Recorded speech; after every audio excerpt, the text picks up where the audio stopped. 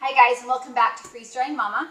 I am here today and we're going to be talking about how to line your trays, if you want to line your trays, why you would line your trays, that kind of thing. Okay, so what we're doing is we're talking about, first of all, these are my absolute favorite.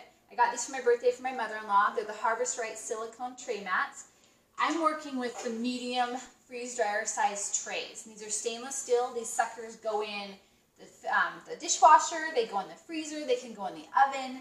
You can literally do whatever you want to these. Um, it doesn't matter if you use a metal like utensil in them. Um, it doesn't matter because they're stainless steel. They're awesome. They don't rust.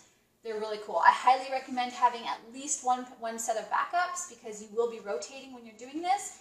But these are super fun. Um, okay, so if you're not going to um, line it, first we'll talk about the liner. So the silicone liner, they have specific ones for specific sizes. So this one fits the medium. The set is worth it. I love the price. I mean, the price is a little high. It's $89, at least when we got these.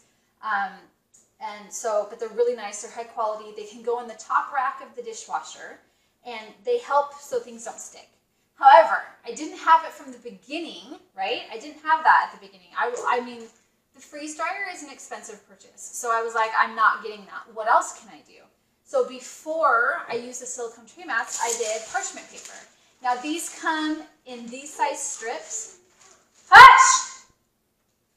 These come in this size of strips from um, the cash and carry or your M that's down in town by us. Um, but you can also get them in rolls, you can get them in, you know, whatever. But these fit really nice on the tray. So this is how I do them.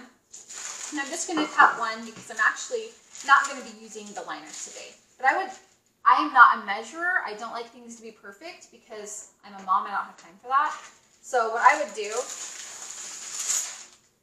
is literally tuck the edge in, not care if it's perfect, and I would just cut like this. I know, I swear, I'm surprised that they let me out of kindergarten with my cutting skills. Not a straight line, I don't care. Because I literally don't care. This is to put food on and to go in the freeze dryer. Uh, you do you if you're the type of person that measures out perfectly, has the perfect lines. Again, you do you that's not how I work. so, um, so you can line them like this. Um, wax paper I found does not work very well. It seems to get kind of crispy and the food that I had was kind of sticking to the wax.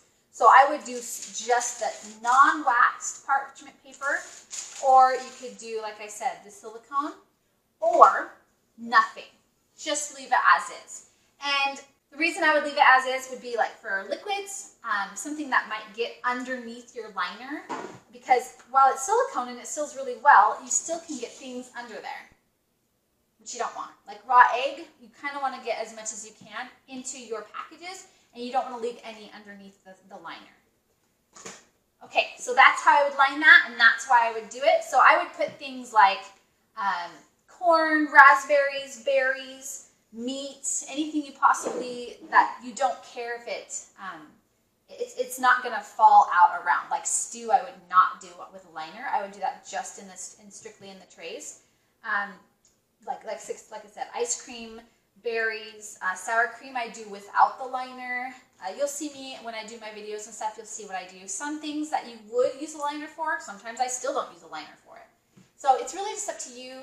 That's just some tips, and then that's what I would do. So there's three different ways that you can use your trays and you don't have to line them. I'm actually in between loads right now. I'm getting ready to load some up, so I have these available. So I will put these up, the tips, more tips up on our freeze drying site. Go to freezedryingmama.com.